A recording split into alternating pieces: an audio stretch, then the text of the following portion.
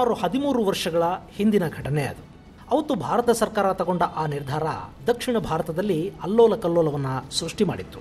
ಅದು ಈ ದೇಶದ ಬಹುಸಂಖ್ಯಾತರ ಭಾವನೆಗೆ ಧಕ್ಕೆ ತರುವಂಥ ಯೋಜನೆಯಾಗಿದ್ದರಿಂದ ಅದರ ಪರ ಮತ್ತು ವಿರೋಧ ಚರ್ಚೆಗಳು ದೇಶದಾದ್ಯಂತ ನಡೆದವು ಫೈನಲಿ ಸರ್ಕಾರ ಜನರ ಭಾವನೆಗಳಿಗೆ ಬೆಲೆ ಕೊಡಲೇಬೇಕಾಯಿತು. ಆ ಯೋಜನೆ ಅಲ್ಲಿಗೆ ನಿಂತು ಹೋಯಿತು ಇಷ್ಟಕ್ಕೂ ಆ ಯೋಜನೆ ಯಾವುದು?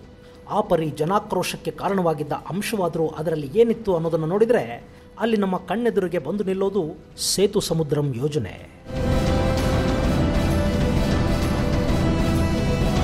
ಈ ಯೋಜನೆಯ ಹೆಸರು ಹೇಳಿದರೆ ಹೆಚ್ಚು ಜನರಿಗೆ ಅರ್ಥ ಆಗೋದಿಲ್ಲ.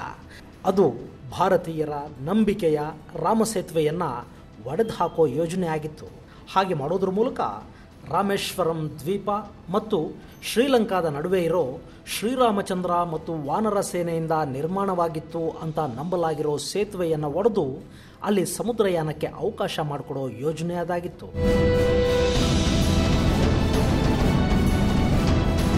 ಇಷ್ಟಕ್ಕೂ ಈ ರಾಮಸೇತು ಶ್ರೀರಾಮಚಂದ್ರನಿಂದಲೇ ನಿರ್ಮಾಣ ಆಯ್ತಾ? ಅದನ್ನು ಕಟ್ಟಿದ್ದು ವಾನರ ಸೇನೆನಾ ಅಥವಾ ಇದೊಂದು ನೈಸರ್ಗಿಕ ನಿರ್ಮಾಣನ ಅನ್ನೋ ಕುತೂಹಲಕಾರಿ ವಿಚಾರವನ್ನು ತಿಳಿಯೋಣ. ಅದಕ್ಕೂ ಮೊದಲು ಇಂಥ ವಿಶಿಷ್ಟ ಮಾಹಿತಿಯನ್ನು ತಿಳಿಯೋದಕ್ಕಾಗಿ ನಮ್ಮ ಮೀಡಿಯಾ ಮಾಸ್ಟರ್ಸ್ ಚಾನಲ್ಗೆ ಸಬ್ಸ್ಕ್ರೈಬ್ ಆಗಿ, ಹೊಸ ವಿಡಿಯೋಗಳ ನೋಟಿಫಿಕೇಷನ್ಗಾಗಿ ಬೆಲ್ ಐಕಾನ್ ಕ್ಲಿಕ್ ಮಾಡಿ. ಶ್ರೀರಾಮ. ಈ ಹೆಸರು ಭಾರತದಲ್ಲಿ ಭಕ್ತಿಭಾವದ ಸಂಕೇತವಾಗಿರೋದ್ರ ಜೊತೆಗೆ ವಿವಾದದ ಕೇಂದ್ರಬಿಂದು ಕೂಡ ಆಗಿಬಿಟ್ಟಿದೆ. ಶ್ರೀರಾಮಚಂದ್ರ ಇದ್ದ ಬಗ್ಗೆ, ಅವನ ಆಡಳಿತ ನಡೆದ ಬಗ್ಗೆ ಸಾಕಷ್ಟು ವಾದ, ಪ್ರತಿವಾದಗಳು ನಡೆಯುತ್ತವೆ. ಹಾಗೆಯೇ ರಾಮ ನಿರ್ಮಿಸಿದ್ದ ಅಂತ ಹೇಳಲಾಗುವ ರಾಮಸೇತು ಬಗ್ಗೆ ಕೂಡ ಪರ ವಿರೋಧದ ಚರ್ಚೆಗಳಾಗಿವೆ. ಹಾಗಿದ್ರೆ ಏನಿದು ರಾಮಸೇತುವೆಯ ರಹಸ್ಯ? ನೋಡೋಣ ಬನ್ನಿ. ತಮಿಳುನಾಡಿನ ರಾಮೇಶ್ವರಂ ಈ ವಿವಾದದ ಕೇಂದ್ರಬಿಂದು. ರಾಮೇಶ್ವರಂ ಬಳಿ ಇರೋ ಧನುಷ್ಕೋಟಿಯಿಂದ ಶ್ರೀಲಂಕಾದ ತಲೈಮನಾರ್ವರೆಗೂ ಇರುವ ಸೇತುವೆಯ ಆಕಾರದ ಭೂಮಿಯೇ ರಾಮಸೇತು. ಇದನ್ನು ಆಡಮ್ ಬ್ರಿಡ್ಜ್ ಅಂತ ಕೂಡ ಕರೀತಾರೆ. ಇನ್ನು ಇದಕ್ಕೆ ಆಡಮ್ ಬ್ರಿಡ್ಜ್ ಅಂತ ಯಾಕೆ ಕರೀತಾರೆ ಅನ್ನೋದಕ್ಕೆ ಕೆಲ ಪುರಾತನ ಯುರೋಪಿಯನ್ ಹಾಗೂ ಮಧ್ಯಪ್ರಾಚ್ಯ ಉಲ್ಲೇಖಗಳಿವೆ. ಅವುಗಳ ಪ್ರಕಾರ ಆಕಾಶದಿಂದ ಭೂಮಿಗೆ ಬಂದ ಮೊದಲ ಮಾನವ ಆಡಮ್ ಅವನು ಆಗಸದಿಂದ ನೇರವಾಗಿ ಶ್ರೀಲಂಕಾದ ಬೆಟ್ಟವೊಂದರ ಮೇಲೆ ಬಿದ್ದನಂತೆ. ಆ ಬೆಟ್ಟವನ್ನು ಆಡಮ್ ಪರ್ವತ ಅಂತ ಕರೀತಾರೆ. ಅಲ್ಲಿಂದ ಅವನು ಕಿರಿದಾದ ಕಾಲುದಾರಿಯ ಮೂಲಕ ಭಾರತಕ್ಕೆ ಬಂದನಂತೆ. ಆಡಮ್ ಹಿಂದೂ ಮಹಾಸಾಗರವನ್ನು ದಾಟಿದ ಆ ಕಿರು ಹಾದಿಯನ್ನೇ ಆಡಮ್ ಬ್ರಿಡ್ಜ್ ಅಂತ ಕರೀತಾರೆ. ಈ ಕಥೆಯ ಸಾರಾಂಶ ಕೂಡ ಮೊದಲ ಮಾನವ ಭಾರತದಲ್ಲಿದ್ದ ಅಂತಾನೆ ಅದಿರಲಿ ಬಿಡಿ. ಹೀಗೆ ಸೇತುವೆ ರೂಪದಲ್ಲಿರೋ ಈ ಪ್ರದೇಶದ ಅಸಲಿಯತ್ತೇನು? ಅದು ನಿರ್ಮಾಣವಾಗಿದ್ದು ಯಾವ ಕಾಲದಲ್ಲಿ ಇರಬಹುದು ಅನ್ನೋದನ್ನ ಇಸ್ರೋ, ಭಾರತೀಯ ಪುರಾತತ್ವ ಇಲಾಖೆ, ಜಿಯಾಲಜಿಕಲ್ ಸರ್ವೆ ಆಫ್ ಇಂಡಿಯಾ ಹಾಗೂ ನಾಸಾ ಕೂಡ ಹುಡುಕೋದಿಕ್ಕೆ ಸಾಕಷ್ಟು ಪ್ರಯತ್ನ ಮಾಡಿವೆ. ಆದರೆ ಯಾರಿಂದಲೂ ಈ ಪ್ರಶ್ನೆಗೆ ಸ್ಪಷ್ಟ ಉತ್ತರ ಇವತ್ತಿನವರೆಗೂ ಸಿಕ್ಕಿಲ್ಲ. ಆದರೆ ಇವರೆಲ್ಲರ ಸಂಶೋಧನೆಗಳಿಂದ ಗೊತ್ತಾಗಿರೋ ಅಂಶ ಏನಪ್ಪ ಅಂದರೆ ರಾಮೇಶ್ವರಂ ಭೂಪ್ರದೇಶ ಸುಮಾರು ಒಂದು ಲಕ್ಷ ಇಪ್ಪತ್ತೈದು ಸಾವಿರ ವರ್ಷಗಳ ಹಿಂದೆಯೇ ಇತ್ತು ಅನ್ನೋದು. ಇನ್ನು ಇಲ್ಲಿರೋ ಕಲ್ಲುಗಳು ಹಾಗೂ ಮರಳು ದಿಬ್ಬಗಳ ಕಾರ್ಬನ್ ಡೇಟಿಂಗ್ನಿಂದಾಗಿ ರಾಮೇಶ್ವರಂ ಮತ್ತು ತಲೈಮನಾರ್ ನಿರ್ಮಾಣವಾಗಿರೋದು ಏಳು ಸಾವಿರದಿಂದ ಹದಿನೆಂಟು ಸಾವಿರ ವರ್ಷಗಳ ಹಿಂದೆ ಅನ್ನೋದು ತಿಳಿದು ಬಂದಿದೆ. ಇದೆಲ್ಲದರ ಜೊತೆಗೆ ಈ ಸೇತುವೆ ನಿರ್ಮಾಣ ಆಗಿರೋದು ಅಂದರೆ ಈ ರೀತಿಯ ರಚನೆ ಆಗಿರೋದು ಕೇವಲ ಐದು ನೂರರಿಂದ ಆರುನೂರು ವರ್ಷಗಳ ಹಿಂದೆ ಅಂತ ಈ ಪರೀಕ್ಷೆಗಳು ಹೇಳ್ತಿವೆ. ಆದರೆ ಭಾರತೀದಾಸನ್ ವಿಶ್ವವಿದ್ಯಾಲಯದ ಪ್ರೊಫೆಸರ್ ಎಸ್ ಎಂ ರಾಮಸ್ವಾಮಿ ನೇತೃತ್ವದಲ್ಲಿ ನಡೆದ ಸಂಶೋಧನೆಯಲ್ಲಿ ಈ ಸೇತುವೆಯ ವಯಸ್ಸು ಮೂರು ಸಾವಿರದ ಐದು ನೂರು ವರ್ಷ ಅಂತ ತಿಳಿಸಲಾಗಿದೆ. ಕೆಲವು ಸಂಶೋಧಕರು ಇವು ಮರಳು ದಿಬ್ಬಗಳಿಂದ ನಿರ್ಮಿತವಾಗಿರೋ ಚಿಕ್ಕ ಚಿಕ್ಕ ದ್ವೀಪಗಳು, ಅವು ಒಂದಕ್ಕೊಂದು ಬೆಸೆದುಕೊಂಡು ಸೇತುವೆಯ ರೂಪವನ್ನು ಪಡೆದಿವೆ ಅಂತ ಹೇಳ್ತಾರೆ. ಆದರೆ ರಾಮಾಯಣದಲ್ಲಿ ಈ ಸೇತುವೆ ನಿರ್ಮಾಣದ ಬಗ್ಗೆ ಸ್ಪಷ್ಟವಾದ ಉಲ್ಲೇಖ ಇದೆ. ಲಂಕೆಯ ರಾವಣ ಸೀತಾದೇವಿಯನ್ನು ಅಪಹರಿಸಿದ ನಂತರ ಅವನ ವಿರುದ್ಧ ಯುದ್ಧ ಸಾರುವ ರಾಮ ಅದಕ್ಕಾಗಿ ಲಂಕೆಯ ಕಡೆಗೆ ಪ್ರಯಾಣ ಬೆಳೆಸ್ತಾನೆ. ಈ ಹಂತದಲ್ಲಿ ರಾಮೇಶ್ವರಂ ಬಳಿ ಅವರಿಗೆ ಸಮುದ್ರ ಎದುರಾಯಿತು. ಹೀಗಾಗಿ ಅಲ್ಲಿದ್ದ ವಾನರ ಸೈನ್ಯ ಸಮುದ್ರಕ್ಕೊಂದು ಸೇತುವೆಯನ್ನು ನಿರ್ಮಿಸೋದಕ್ಕೆ ಮುಂದಾಗತ್ತೆ. ಸೇತುವೆಗೆ ಬಳಸಿದ ಕಲ್ಲುಗಳ ಮೇಲೆ ಶ್ರೀರಾಮ ಶ್ರೀರಾಮ ಅಂತ ಬರೆದಿದ್ದರಿಂದ ಆ ಕಲ್ಲುಗಳು ನೀರಿನ ಮೇಲೆ ತೇಲುತ್ತಾ ಸೇತುವೆ ನಿರ್ಮಾಣವಾಯಿತು ಅನ್ನೋ ಕಥೆಗಳಿವೆ. ಆನಂತರ ಇದೇ ಸೇತುವೆಯ ಮುಖಾಂತರ ಲಂಕಾ ತಲುಪಿದ ಶ್ರೀರಾಮ ರಾವಣನನ್ನ ಸದೆಬಡಿದು ಸೀತಾದೇವಿಯನ್ನು ಬಿಡುಗಡೆಗೊಳಿಸಿದ್ದ ಅನ್ನೋ ಕಥೆ ನಮ್ಮ ರಾಮಾಯಣದಲ್ಲಿದೆ. ಇಲ್ಲೇ ನೋಡಿ ಇರೋದು ಟರ್ನಿಂಗ್ ಪಾಯಿಂಟು ಈ ರಾಮಸೇತುವನ್ನು ಎಲ್ಲಿಂದ ಎಲ್ಲಿಗೆ ನೋಡಿದರೂ ಅದು ಒಂದೇ ಅಳತೆಯಲ್ಲಿರೋ ಹಾಗೆ ಕಾಣಿಸುತ್ತೆ. ಸುಮಾರು ಮೂವತ್ತು ಕಿಲೋಮೀಟರ್ ಉದ್ದ ಇರುವ ಈ ಸೇತುವೆ ಅದರ ಅನುಪಾತಕ್ಕೆ ತಕ್ಕಷ್ಟೇ ಅಗಲ ಇದೆ. ಕೆಲವು ಸಂಶೋಧಕರು ಹೇಳೋ ಪ್ರಕಾರ ಈ ಸೇತುವೆ ಮೂವತ್ತು ಇಷ್ಟು ಒಂದು ಆಧಾರದಲ್ಲಿ ನಿರ್ಮಾಣವಾಗಿದೆಯಂತೆ. ಉಪಗ್ರಹಗಳಿಂದ ತೆಗೆದ ಚಿತ್ರಗಳಲ್ಲಿ ಕೂಡ ಈ ಸೇತುವೆ ಮಾನವನ ನಿರ್ಮಾಣದಂತೆಯೇ ಕಾಣುತ್ತೆ. ಈ ಸೇತುವೆ ಇರೋ ಕಡೆ ಈಗಲೂ ಜನ ನಡೆದಾಡಬಹುದು.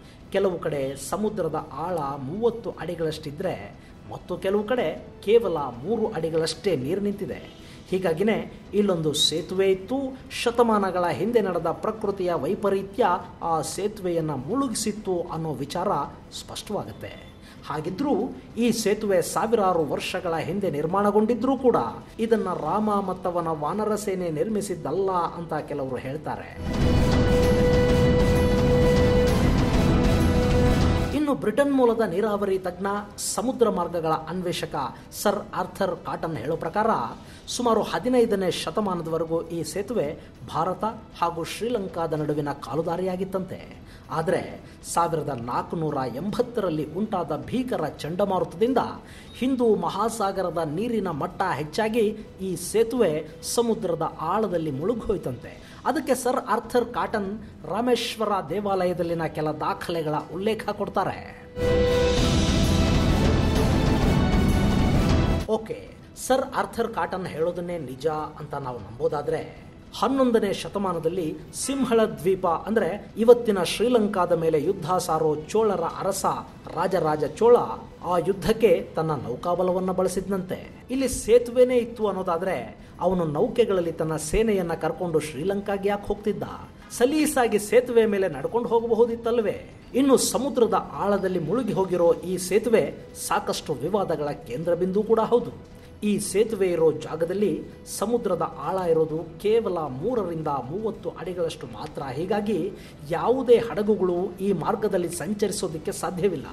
ಹೀಗಾಗಿನೇ ಭಾರತದ ಹಡಗುಗಳು ಪೂರ್ವ ಕರಾವಳಿಯಿಂದ ಸಮುದ್ರ ಮಾರ್ಗವಾಗಿ ಪಶ್ಚಿಮ ಕರಾವಳಿಗೆ ಬರಬೇಕು ಅಂದರೆ ಇಡೀ ಶ್ರೀಲಂಕಾವನ್ನು ಸುತ್ತಿ ಬರಬೇಕು. ಇದರಿಂದಾಗಿ ಹಡಗುಗಳು ಸುಮಾರು ನಾಲ್ಕು ನೂರು ಕಿಲೋಮೀಟರ್ಗಳಿಗಿಂತ ಹೆಚ್ಚಿನ ದೂರವನ್ನು ಕ್ರಮಿಸಬೇಕಾಗುತ್ತೆ. ಹೀಗಾಗಿ ಈ ಸೇತುವೆಯನ್ನು ನಾಶ ಮಾಡಿ ಧನುಷ್ಕೋಟಿಯಿಂದ ಪಾಕ್ ಜಲಸಂಧಿಯನ್ನು ನೇರವಾಗಿ ಸಂಪರ್ಕಿಸೋ ಸಮುದ್ರ ಮಾರ್ಗವನ್ನು ರೂಪಿಸೋದಕ್ಕೆ ಎರಡು ಸಾವಿರದ ಐದರಲ್ಲಿ ಭಾರತ ಸರ್ಕಾರ ತೀರ್ಮಾನಿಸಿತ್ತು. ಸರ್ಕಾರದ ಈ ನಿರ್ಧಾರ ಹಿಂದೂ ಕಾರ್ಯಕರ್ತರ ಆಕ್ರೋಶಕ್ಕೆ ಕಾರಣವಾಯಿತು. ಪ್ರತಿಪಕ್ಷಗಳು ಸಾಕಷ್ಟು ವಿರೋಧ ವ್ಯಕ್ತಪಡಿಸಿದ್ವು. ಹೀಗಾಗಿ ಅವತ್ತಿನ ಭಾರತ ಸರ್ಕಾರ ಸೇತು ಸಮುದ್ರಂ ಕೆನಲ್ ಪ್ರಾಜೆಕ್ಟನ್ನು ಅರ್ಧದಲ್ಲೇ ಕೈಬಿಡಬೇಕಾಯಿತು. ಆದರೆ ಕೆಲ ವಿಜ್ಞಾನಿಗಳು ಹೇಳೋದೇ ಬೇರೆ. ಅವರ ಪ್ರಕಾರ ಈ ಸೇತುವೆ ಇರೋದರಿಂದ ಭಾರತಕ್ಕೆ ಅನೇಕ ಲಾಭಗಳಿವೆಯಂತೆ. ಈ ಸೇತುವೆ ಬಳಿ ಇರೋ ಸಮುದ್ರದ ಮರಳಿನಲ್ಲಿ ಮೊನಾಸೈಟ್ ಎಲಿಮೆಂಟ್ನ ಭಾರಿ ನಿಕ್ಷೇಪ ಪತ್ತೆಯಾಗಿದೆ. ಈ ಮೊನಾಸೈಟ್ ಥೋರಿಯಂನಷ್ಟೇ ಶಕ್ತಿಯುಳ್ಳ ಎಲಿಮೆಂಟು. ಇದನ್ನು ಸರಿಯಾಗಿ ಉಪಯೋಗಿಸ್ಕೊಳ್ಳೋದಕ್ಕೆ ಸದ್ಯಕ್ಕೆ ಭಾರತದಲ್ಲಿ ಯಾವ ವ್ಯವಸ್ಥೆನೂ ಇಲ್ಲ. ಆದರೆ ನಮ್ಮಲ್ಲೊಂದಷ್ಟು ಮೊನಾಸೈಟ್ ರಿಯಾಕ್ಟರ್ಗಳನ್ನು ಸ್ಥಾಪಿಸಿದರೆ ಶಕ್ತಿ ಉತ್ಪಾದನೆಯಲ್ಲಿ ಭಾರತ ಸಂಪೂರ್ಣವಾಗಿ ಸ್ವಾವಲಂಬಿಯಾಗತ್ತೆ ಅನ್ನೋದು ವಿಜ್ಞಾನಿಗಳ ವಾದ.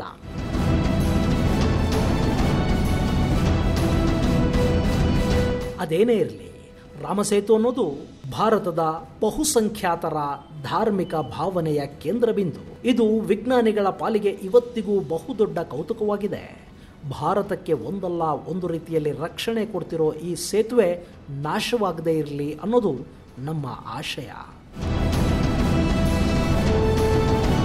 ಇದಿಷ್ಟು ರಾಮಸೇತುವಿನ ಕುರಿತಾದ ಸಂಕ್ಷಿಪ್ತ ಮಾಹಿತಿ. ಇಂಥ ಮತ್ತಷ್ಟು ಕುತೂಹಲಕಾರಿ ಮಾಹಿತಿಗಾಗಿ ನಮ್ಮ ಮೀಡಿಯಾ ಮಾಸ್ಟರ್ಸ್ ಚಾನಲ್ಗೆ ಸಬ್ಸ್ಕ್ರೈಬ್ ಆಗಿ ಹೊಸ ವಿಡಿಯೋಗಳ ನೋಟಿಫಿಕೇಷನ್ಗಾಗಿ ಬೆಲ್ಲೈಕಾನ್ ಪ್ರೆಸ್ ಮಾಡೋದನ್ನು ಮರಿಬೇಡಿ.